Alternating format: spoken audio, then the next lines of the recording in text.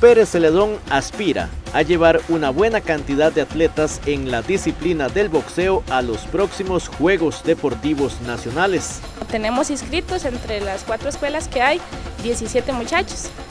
11 de ellos integran el polideportivo, 3 en General Viejo y 3 en Palmares en Costa Cuba.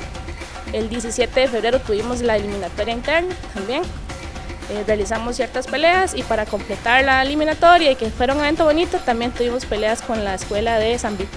Abril y mayo tendrá un calendario estrecho en la ruta hacia los Juegos que se van a tramitar en Guanacaste a mitad de este año. Muy poco tiempo para realizar las eliminatorias. Lo ideal es un mes por categoría. Ahora vamos a ver cómo la Asociación Costarricense Boxeo acomoda los tiempos junto con el ICODER para que alcancen dos meses para realizar las eliminatorias de todas las categorías. La entrenadora destacó la preparación de los atletas. Los chicos se han venido fogueando bastante, bastante desde finales del año pasado y lo que llevamos de este. Han tenido fogueos casi todos los fines de semana, entonces esperamos tener buen rendimiento en las eliminatorias, que es lo más importante. Una vez pasadas las eliminatorias ellos tienen medalla fija.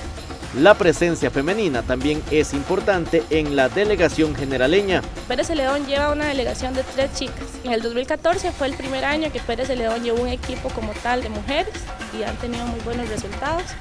El boxeo en Costa Rica, la mayor parte de los éxitos se lo han llevado las mujeres. En este momento tenemos dos campeonas mundiales, viene la tercera, en el estilo olímpico también. Las mujeres son siempre las que están pulseando esos campos para Juegos Olímpicos y demás y que Pérez Celedón no sea la excepción. El camino a Juegos Nacionales en las distintas disciplinas continúa.